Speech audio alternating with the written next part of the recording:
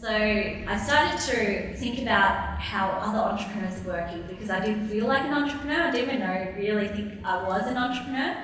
Um, but I knew that I had a small business owner mindset because I was doing everything.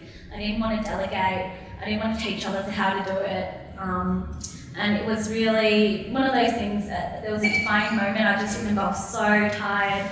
I was taking the cupcakes out of the oven and my arms just couldn't lift the trays because the trays are super heavy. And so I just remember dropping them and then I just broke down and ran up to the cupboard upstairs and I just locked myself in there and cried for about an hour.